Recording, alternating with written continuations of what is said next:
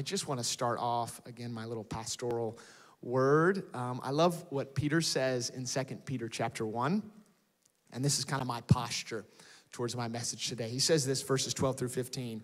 He says, I will always remind you, Peter says.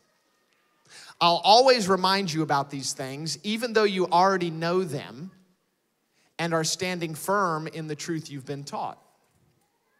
And it's only right that I should keep on reminding you. As long as I live, for our Lord Jesus Christ to show me that I must soon leave this earthly life. I'm not saying that, Ramp Church, okay? So I will work hard to, look at this, make sure you always remember these things after I am gone. We, we can't, uh, in, in the community of Jesus followers, we can't have this, um, the, this obsession with new things like the culture around us has, where we're so willing to forget yesterday's thing because we just have um, an obsession with whatever's new, whatever I don't currently have. Um, hashtag FOMO, right? There's this constant drive in the world around us. It is a current um, that's constantly taking us away from what we've known into the new thing, which is why we'll stand in line for 12 hours for the new iPhone that has a 5 megapixel camera when the one that has 3.8 in our pocket just doesn't feel like enough megapixels, whatever those are. Um, there is a drive for the new thing, but there's something about being mature in God that we stay rooted in things that, that seem ancient. But we have a posture that is meditative enough that it keeps what is ancient alive and fresh in our hearts. Because the reason why it's ancient is because, um, because it wins the test of time.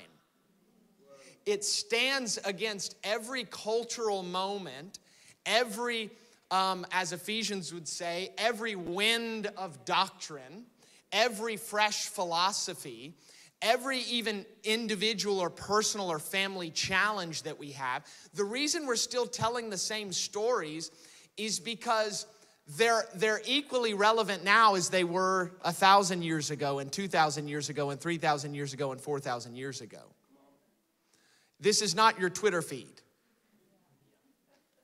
right? This is this is this is not something now every new generation has the responsibility to contextualize for our cultural moment this ancient message.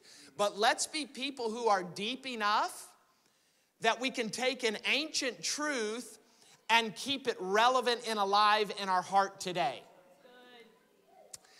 Um, it's just as relevant. So, the thing that's changing in that equation is not the truth, the relevancy of the truth, it's my posture towards the truth right?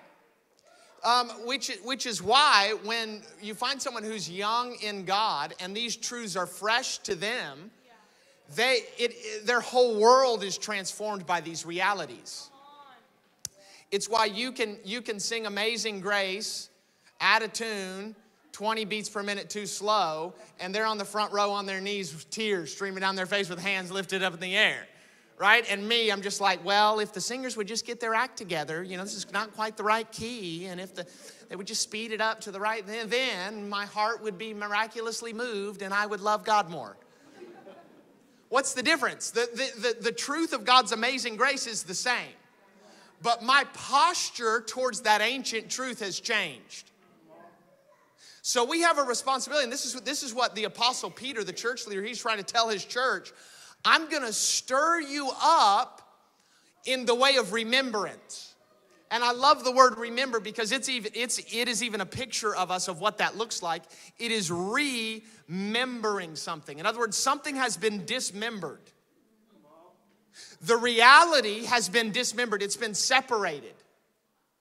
So it's not relevant to me anymore. And the act of remembering is taking what has been dismembered and putting those pieces back together, taking the emotional and mental space and time to remember that which life's challenges or the opinions of other people or my past, my hangups, my issues, those things that I just forget these truths that are incredibly important and transformative, it dismembers those truths. But this is why we should meditate regularly on things that are quite simple but profound, like the cross, like the resurrection, like the fact that, uh, wait a second, I remember where I was when he found me. There was absolutely nothing I could have done to say yes to him. Like I remember how messed up I was when, um, when I didn't even know how to, how, how, to, how to respond. But he found me in that place. And when I remember that, all of a sudden it becomes live in my heart again. So I'm, I, I have, hopefully I can get through all of these, but maybe not. I have six don't forgets that I'm going to tell you today. Six don't forgets. And these are about posturing ourselves in the place of remembering. And these are stirring in my heart because it's obvious that God's doing something unusual in our community. And it isn't just in our community, it's, it's in places all around the world.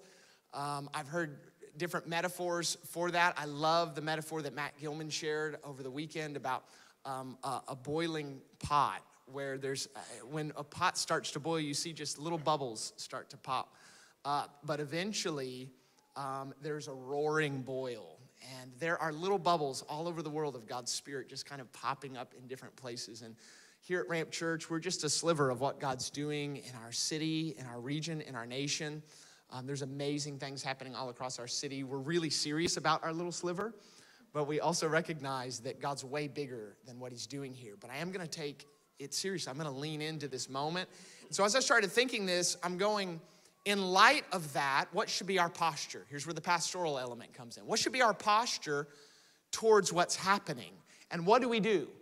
What do we do as a people who are recognizing God on a regular old Friday night youth eh, uh, meeting is deciding to invade the lives of young people and change their trajectory, change their sense of identity and their self worth, and send them back into their everyday life as missionaries? Right? Well, How do we respond to these? And so that's why I have six don't forgets. The first don't forget is this. Um, it's quite simple. Don't forget that you belong here. you have a place at the table of the Lord. And this is for some of you, maybe you, you still feel like you're on the outside looking in. Have you ever felt like that? Um, I, I, feel I felt like that before in seasons like looking for a local church. Maybe you're new to, to Ramp Church. I, I, to me, the experience of like going to a church I'm not familiar with is like attending someone else's family reunion. You know, you're kind of like, uh, this is awkward. this is really awkward. Like it's way beyond the awkward of like inside jokes that you don't get. Like it's way beyond that. And you're just kind of on the outside, like, what's happening here? And and then someone like comes out of their little family reunion group and approaches you, and you're like, I don't know if I'm happy about this or not. Like, like maybe I want to stay. So it's it's it's kind of an outside in kind of a posture, isn't it? Well, I want to tell you, you you belong here. You belong in the house of the Lord. You belong at the table with your father. And sometimes the reason we have a hard time seeing that is because we think God is like a father or an authority figure we had in the past that I don't like. We think he's like that, but he's not like that. He is a good father. And if you imagine the fatherhood of God and the automatic access that gives you to his life, just imagine you being able to step into his presence at any moment. At any moment. Regardless of the struggle, regardless of the challenge, regardless of your personal condition. Imagine that type of access into the presence of, of, of our Father. I mean, just, just think if you were the father or the mother, in, in whether you have children or not, whether you'll ever have children, just imagine you were the father and mother that, that you wished you could be, an ideal father or mother. Would there ever be a time your, your, your child would approach you that you would say, uh uh-uh. uh No, no, I, I remember what you did yesterday. Get away from me. No. That's, that's, that's never our posture towards our children as, as an ideal father or mother. Me on my best day okay? I'm not talking about my worst day. I'm talking about me on my best day. That isn't my posture towards my kids. You have a place here. And the reason you have a place here is because you're not just standing in your own righteousness. You are standing in the work of what someone else has done for you. You are standing in the good stead of Jesus towards our Father. Second Corinthians 5:21 says, "For God made Christ who never sinned to be an offering for our sins so that we could be made right with God through Christ." Romans 3:22 we are made right with God by placing our faith in Jesus Christ.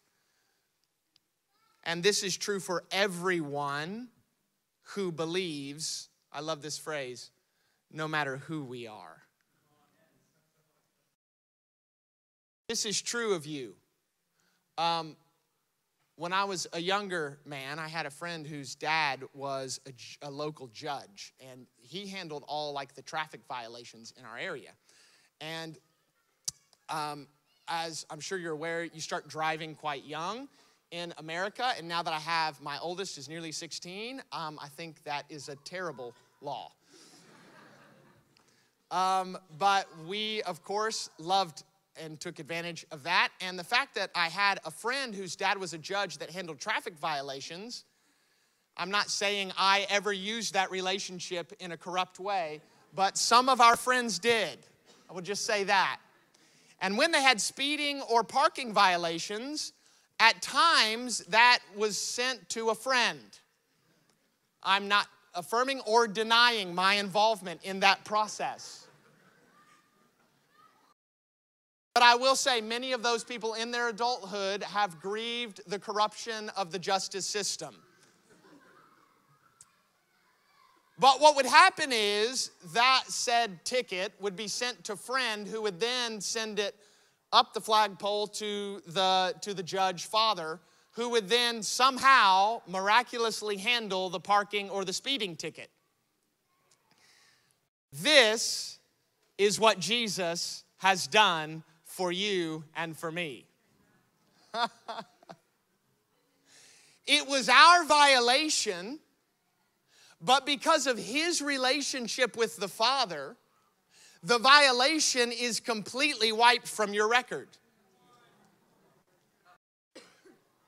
This is the righteousness that we stand in.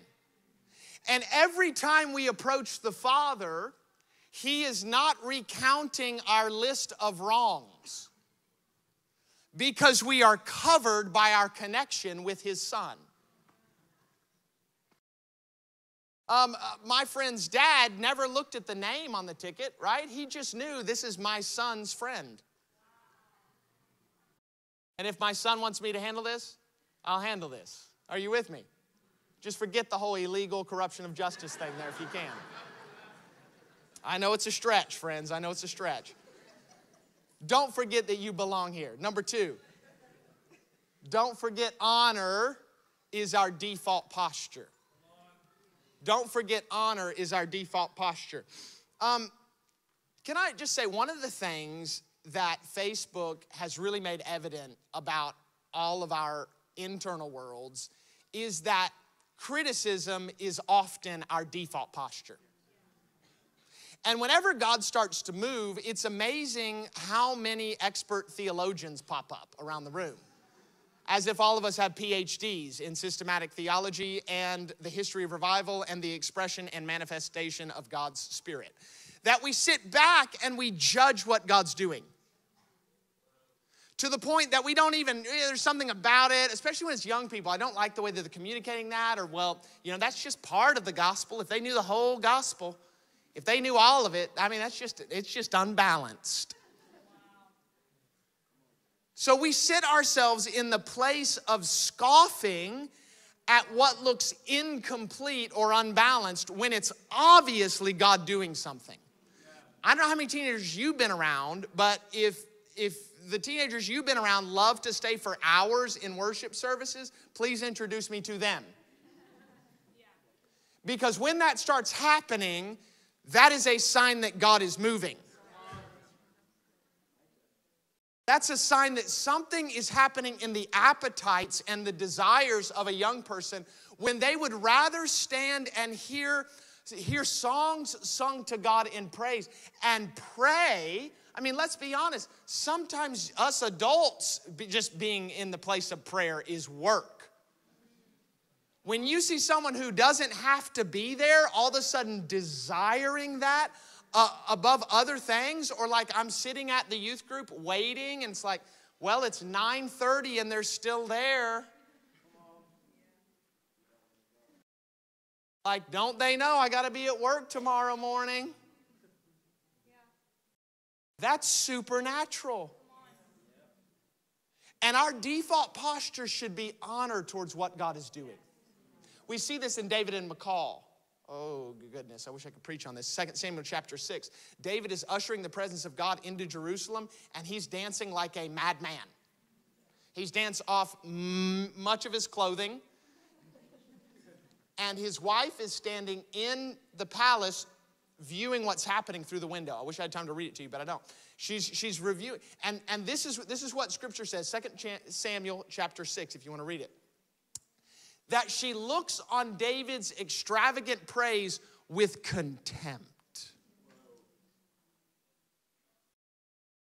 She is judging his response to what God's doing in his life.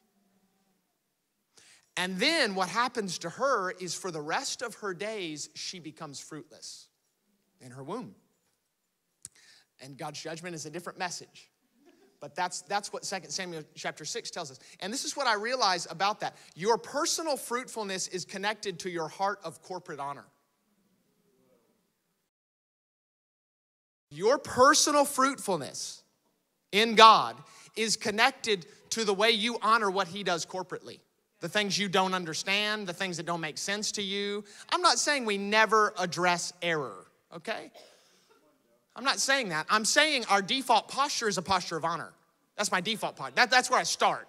I don't start with going, well, Asbury, look at Asbury Revival. All those kids, they, they're not even old enough to know Jesus. And look, they think revival's broken. I mean, I don't know the things we say. You just look at the Facebook arguments. What, what, is, your, what is your default? What's, what's the default posture? should always be honor, and then God will correct what needs to be corrected. I love, I love, th- this is, this guy is, is not even a Christian, he's a rabbi. Gamaliel in Acts chapter 5. You know this, the, the revival's breaking out in the early church. The rabbis are really upset about what's going on. And then he, with the voice of wisdom, this is what he says. If he tells the other rabbis this if this plan or this undertaking is of man, it will fail. But if it's of God, you will not be able to overthrow it. You might even be found opposing God. Don't you love that approach?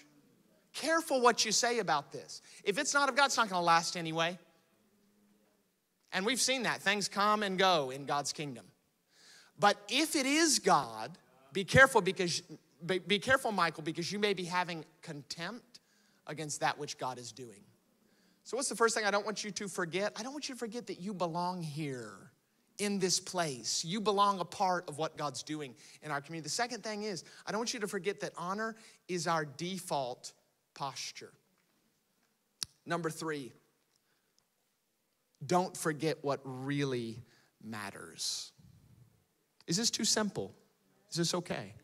Don't forget what really matters. I love in Luke chapter 10, Jesus sends out 72 of his followers, two by two, to visit the cities that he plans to visit.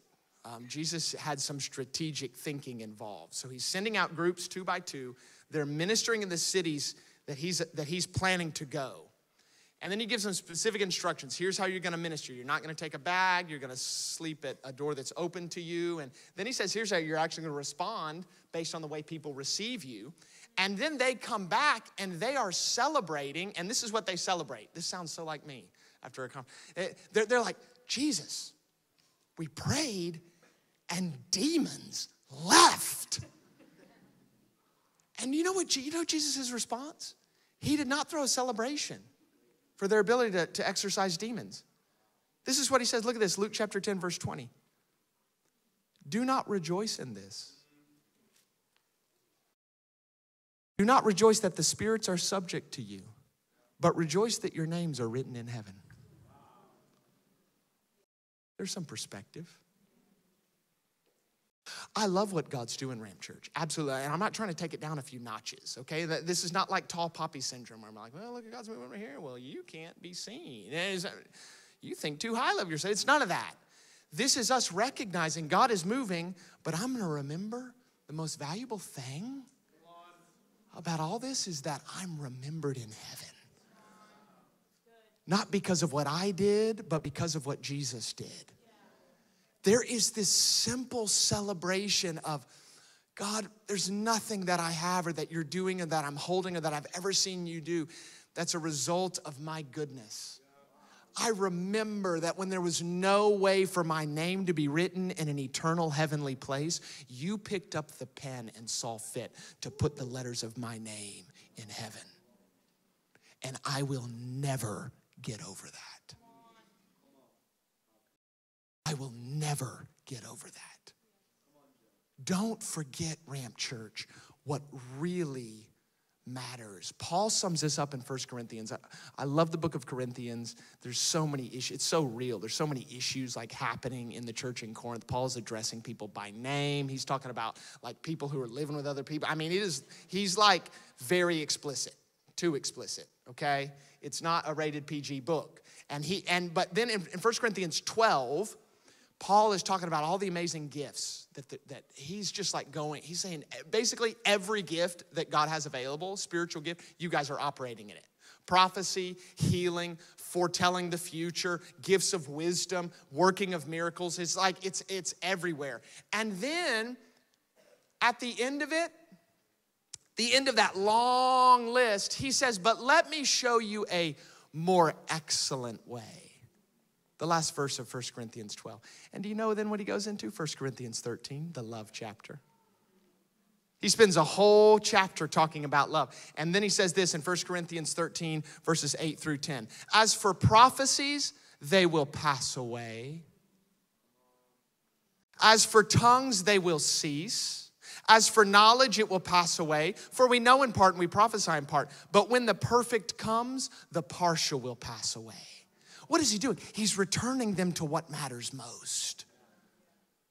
And I never want us to forget, Ramp Church, that while God's moving, we're seeing extraordinary supernatural things. Let's remember that the place of love and being centered in God's love for us and God's love for others, that's what makes all this tick and work in the first place.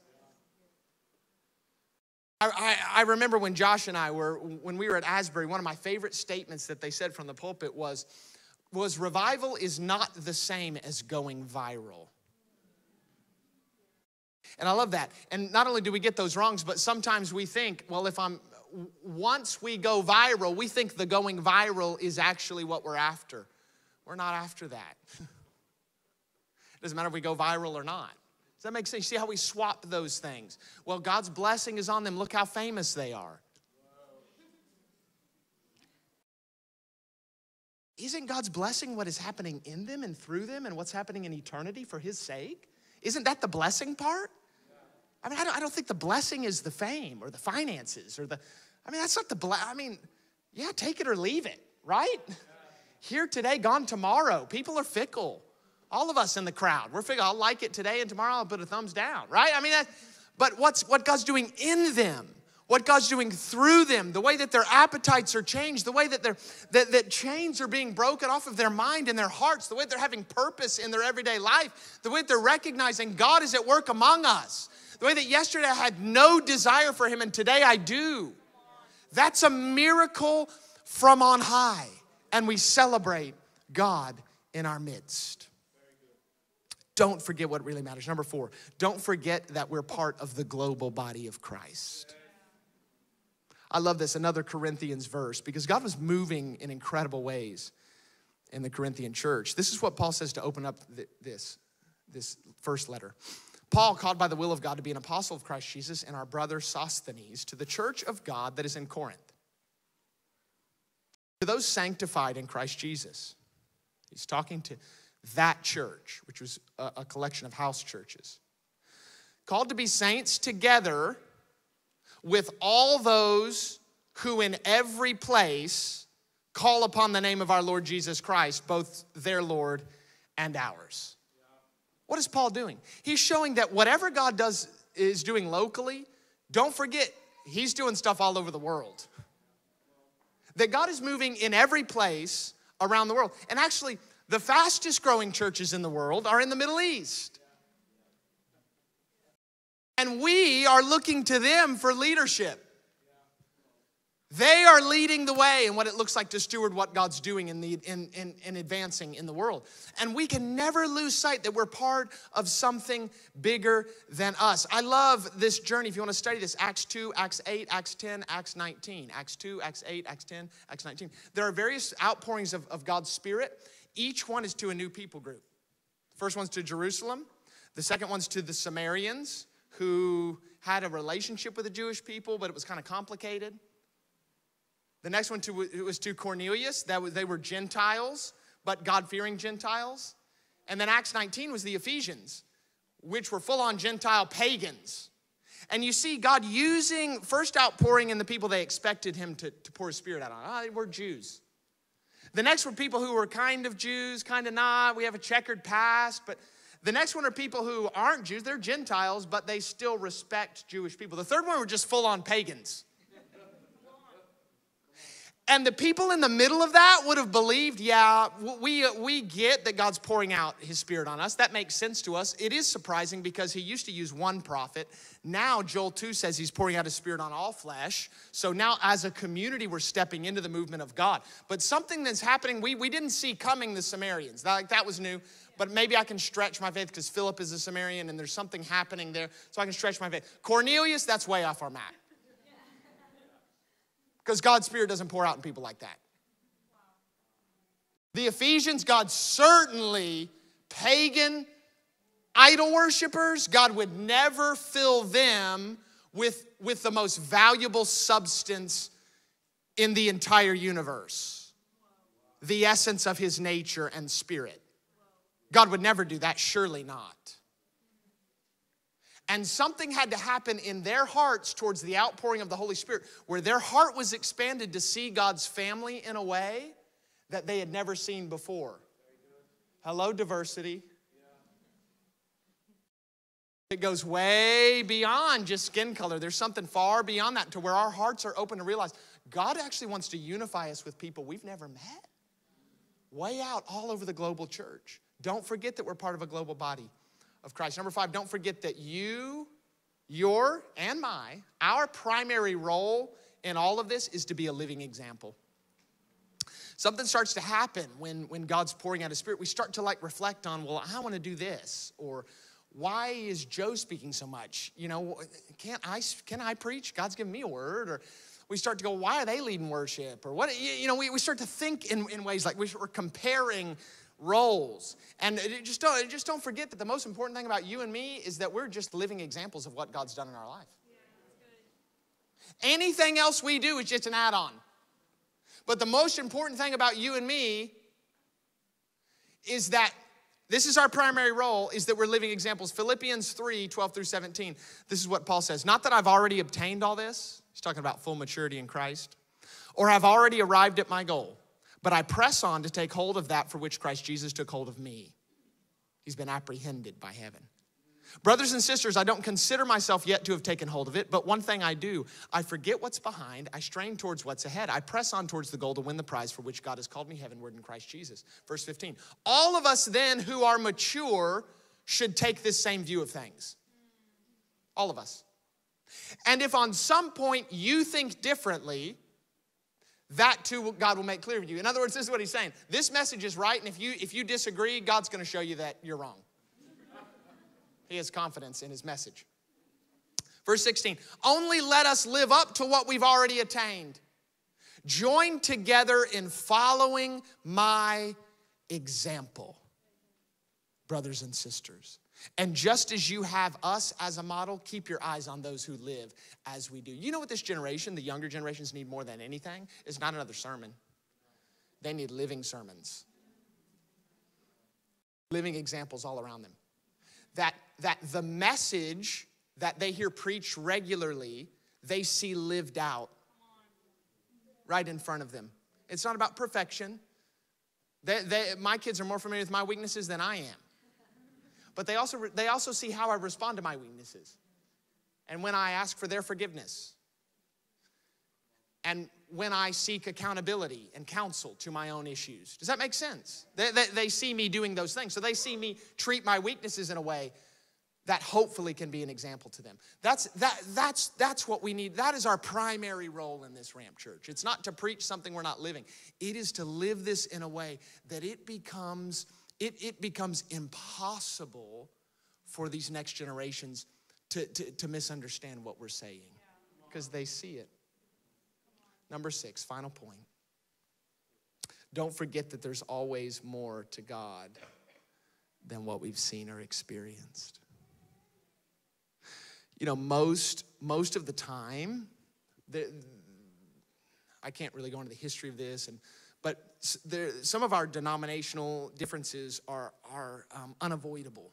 Okay, so I'm not necessarily of the mindset that well all of that is bad. I think there's just a there's just a nature. God's given freedom for, for certain beliefs. I don't really want to talk about that right now. But sometimes we stop and create dividing walls based on the revelation we're choosing not to grow past.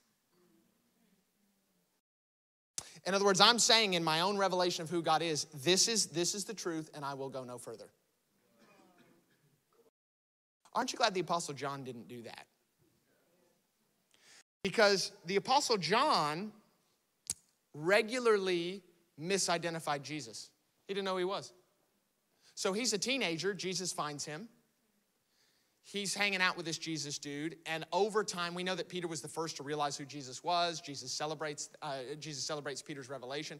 But John then is in this group of people who are starting to, to realize Jesus is like God and a human.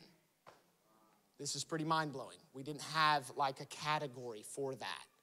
And they're starting to realize this, and John forms a personal relationship with Jesus. This is not just like preacher, like you're a teacher, personal relationship. We know that because at the Last Supper, John is the dude who's, who's like literally chilling on Jesus. like, like they're eating and he is laying on Jesus. This is a this is this is a close relationship that they have as friends. Jesus then dies, is resurrected, and then in a moment of him revealing himself, he comes to the beach and John and Peter are fishing. And Jesus is on the beach cooking fish for them. That's a whole message. But anyway, he's cooking fish for them. Don't you just love that Jesus was cooking? So he's cooking fish for them, and Peter and John are trying to figure out who it is. What do you mean? A few days earlier, you were laying on his chest. How come you don't know who this is? Because something happened to him in death, burial, and resurrection that transformed him in a way that, that John had to take a second look. But he realizes and he tells Peter, That is the Lord. And Peter hops out of the hops out of the boat, swims to the shore. They have some fish with Jesus. He says, uh, "Do you love me? Do you love me? Do you love me?" You know the whole story, right? Then we see though, uh, uh Uh, John, of course, in this inter- intermittent time, he moves to Ephesus. Church tradition tells us he's part of the church leadership there. He writes different letters to the church, first, second, and third John, and then he gets this crazy book called Revelation. John is on an island called Patmos. He's been exiled there for his faith. He's been boiled in oil and left to die. And in that place, in that place of longing, in that wilderness place, he is praying to the Jesus whose chest he laid on. And in that place, Jesus reveals himself to John, and this is the man who John knew intimately. And the appearance of Jesus revealed himself physically. The appearance of Jesus was so overwhelming to John that John fell at Jesus' feet as dead. Do you realize your future revelation of God can be so profound compared to your current revelation of God that what now you can treat flippantly, you will fall at you will fall on your face as a dead person. John knew him intimately, but you know what? There was still more of him to know. Do you know what our posture should be when God is pouring out his spirit? When we say more, that's not spoiled, entitled question. That is God. I realize that whatever it looks like on earth, this is like a thimble in an ocean of the reality of who you are. For me not to ask for more would be an insult to your character and your nature.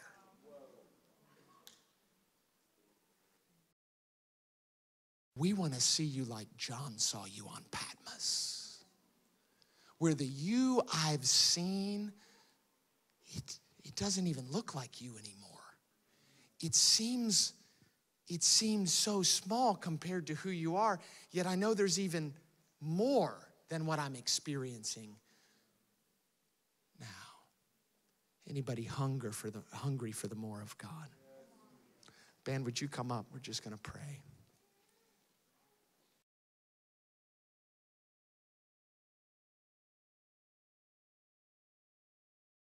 This is the thing about what God's made available to you and me. It just comes by faith. Just faith. Say faith. You don't have to do some crazy incantation. We're not going to teach you a spell when you leave here or give you a wand. You don't have to contort or cut your body or any other crazy things. It just comes by faith. Hebrews 11 says that Abraham left the place where he was when God called him to the land that he was called to be by faith. And then it says this and then he lived there by faith. He lived in a tent, he was dreaming of a city, but he lived in that place by faith. And I want to tell you, we're so fascinated with the new, but I want to tell you this the same thing that got you here will get you there. And it's called faith. What gets you a, revelation, a book of revelation experience when you're John living in the resurrection or when you're John living at the Last Supper? It's just that same childlike wonder.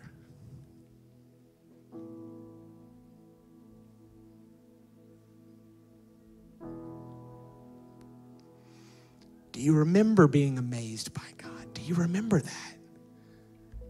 You remember when you were a kid and you just couldn't fathom how like what is like how can he be like everywhere? Like where does God end? I can't even think about that. It breaks my brain. That's called wonder. I want us to be a people, I want us to be a community that the things of God never become common to us. Never. We're not professional churchgoers, professional ch- sermon listen toers, professional home group goers. Uh, you know, like that is not it. Like we're just here seeking after God together. So I want to leave some space now. Would you just stand on your feet all around this room? And we're gonna we're gonna dismiss just like this.